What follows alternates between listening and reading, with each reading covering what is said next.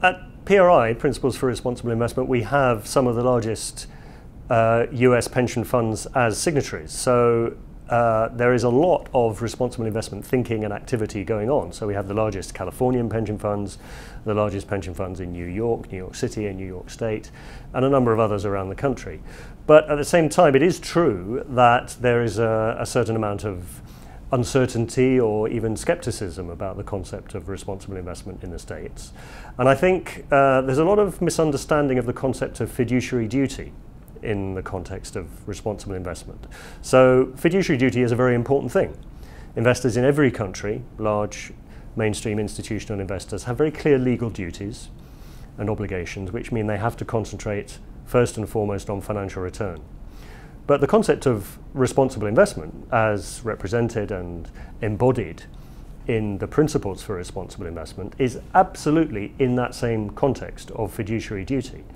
And what PRI is saying, essentially as a, a worldview, as it were, is that in order to be a successful long-term investment institution, like uh, a pension fund, you need to understand the factors that are going to affect the value and performance of your investments in the long term.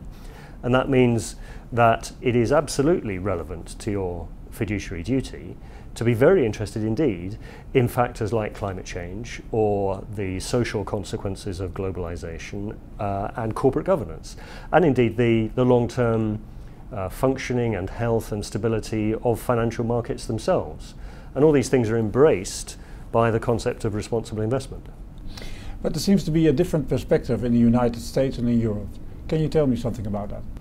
I think terminology is important. So in Europe, the word sustainability is used very widely and people take it for granted that it's a, a valid concept.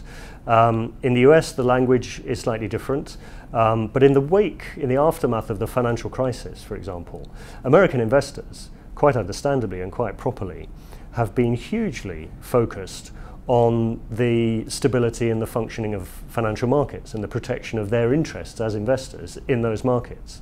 And that's all about governance. That's the G of ESG, environmental, social and governance issues, which is what responsible investment is about. So there are, I think, a lot of points of contact, a lot of commonalities between the, the concept of responsible investment and the way that uh, United States investors think. Um, but we just need to find the right language and we need to dispel some of the myths about um, what are seen as conflicts or inconsistencies between responsible investment and fiduciary duty a couple of hundred years, there's been a certain amount of friendly misunderstanding between Europe and the US.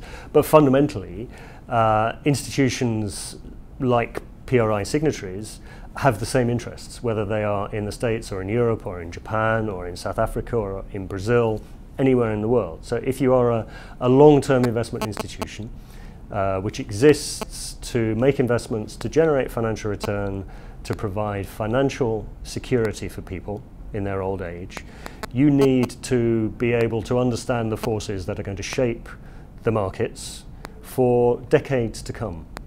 You need to understand and you have a direct interest in the health of the financial markets on which you depend.